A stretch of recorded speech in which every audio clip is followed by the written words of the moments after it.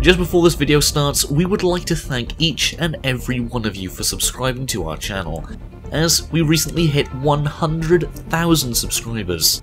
We are so grateful for all of your amazing support and we value every single like in our videos and every single comment which we love reading and replying to. That being said, we hope you enjoy the video. I know it's dark, but a like would be really appreciated. Thanks, and let's begin.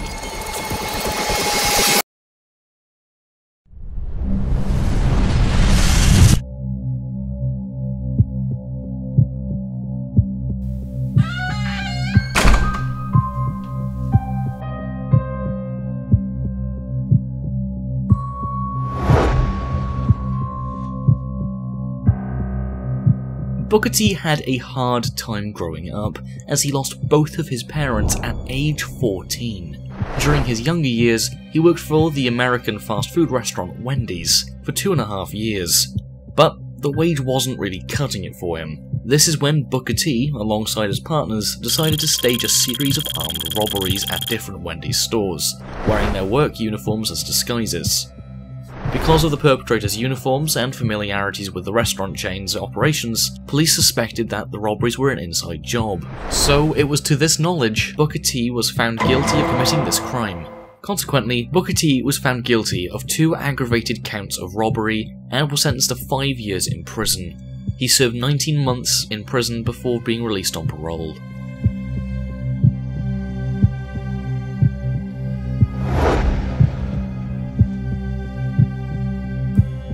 In 1983, Scott Hall was charged with second degree murder after fatally shooting a man in the head with a gun. Although this crime was acted in self defense, according to Hall himself, the memory of what happened on that fateful day has burned in his brain. As Scott Hall recalled the incident in a 2011 interview for ESPN. In 1983, Hall was working as a bartender at a strip club when he became involved in a heated dispute over a girl. The man, who Scott Hall went on to kill, smashed all of Scott Hall's windows out of his car. This angered Hall, who found out about this and went on to confront the man. He recalled himself drilling the guy to the floor when he noticed the man's shirt up, revealing a gun that he reached for. They wrestled around for the gun until Hall managed to take it and shot the man in the head. Hall was charged with second degree murder, but the charges were dropped due to lack of evidence.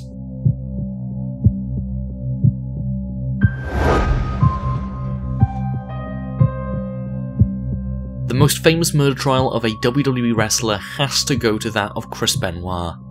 In 2007, Chris Benoit killed his wife Nancy Benoit and strangled his 7 year old son Daniel Benoit before hanging himself in his weight room. There are many conspiracy theories suggesting how Benoit was framed for those murders, but I'm not going into any of these. Benoit's wife Nancy was found wrapped in a towel with blood under her head, and his son Daniel was found in his bed. They both died from asphyxiation. It was after these two murders that Benoit left a voicemail to Chavo Guerrero. Chavo Guerrero called Benoit after hearing the voicemail and noticed that Benoit sounded tired and groggy. He proceeded to call Benoit again after their phone call ended due to concerns about Benoit's tone and demeanour. Benoit called Chavo back after he missed his initial call. The conversation ended with Benoit saying, I love you, Chavo. Benoit placed copies of the Bible alongside the bodies of his wife and son, as well as a third Bible on his weightlifting machine. Benoit then committed suicide in his weight room, using a weightlifting machine to break his own neck. There was a note found in the Bible which said, I'm preparing to leave this earth. The search history on Benoit's computer showed he had researched the quickest and easiest way to break a neck.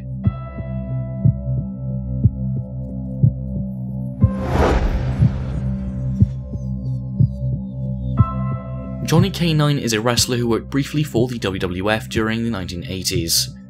He wrestled in many tag team matches, but his biggest match in WWF was against Hulk Hogan. Outside the ring, Johnny K9 is famous for his history of legal problems. He was the leader of a motorcycle gang known as Satan's Choice Motorcycle Gang.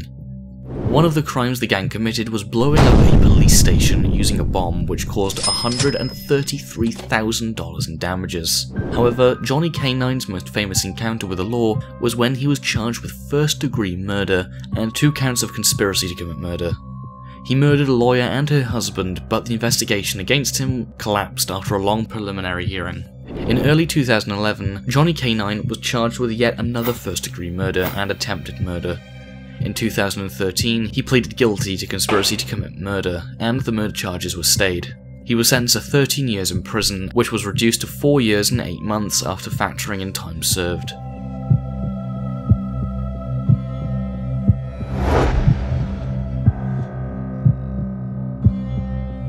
Many of you might not know who Hardbody Harrison is, and that's fair enough because he only worked as a jobber for WCW back in 1995. He appeared on WCW Monday Nitro as well as 1997's Starcade, but he was never a major name in the business. However, in 2007, he was convicted on charges relating to keeping eight women as sex slaves in two homes he owned in Georgia.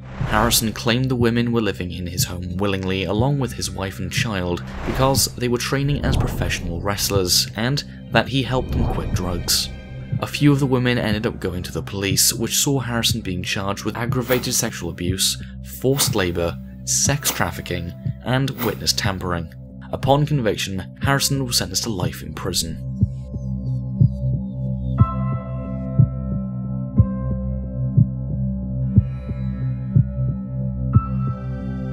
Thank you so much for watching. If you enjoyed, please show your support by leaving a like and sharing this video, as it really does help us a lot. Don't forget to comment below too, and we will pin up the best comment. And if you haven't already, please subscribe and turn on notifications so you never miss a video from us. Lastly, for daily wrestling facts and more, follow all of our social media accounts, which are on screen and in the description. Thanks, and until the next video.